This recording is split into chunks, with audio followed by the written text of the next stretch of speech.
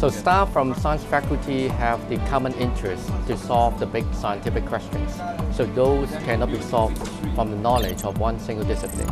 It needs to have input of knowledge from different disciplines to solve the problem. Resource limitation is a common problem and difficulty in all the universities.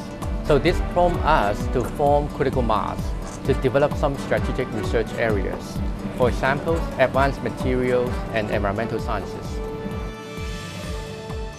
Usually, computer science department is located in the engineering school, uh, but in uh, Hong Kong Baptist University, computer science department is located within the science faculty. This is indeed the advantage to do interdisciplinary research. Uh, I would like to share a project uh, that is a collaboration between the mathematics and computer science departments. Uh, in this project, we make use of the robust video processing technology to reconstruct the sales sessions among the uh, salespeople, customer, and also the product to understand the whole sales session. HKBU teachers are willing to join interdisciplinary projects because of their passion and devotion. Scientific research has the power to improve people's life. In addition to academic achievement, Hong Kong BU Faculty of Science also contribute a lot to the society.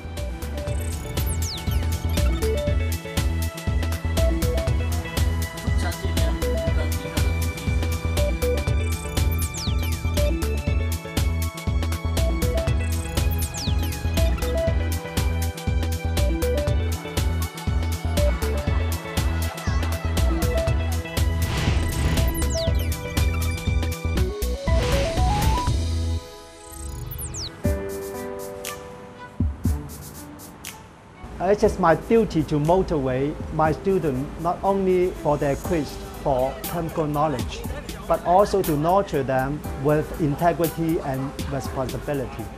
Discovery and innovation is the heart of science. Science students will be challenged with new knowledge, which is of prime importance to humankind. Students can contribute themselves for the betterment of humans. I've been teaching in Baptist University for about four years.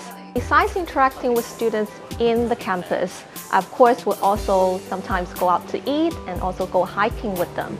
I think as a teacher, the greatest thing is that we can always interact with youngsters. They always give us new perspectives, feedbacks, so that we can improve and change our teaching styles. The professors interact with us constantly outside the classroom so as to know more about our lives classmates are also very supportive of each other. You can always feel very warm to stay at BU.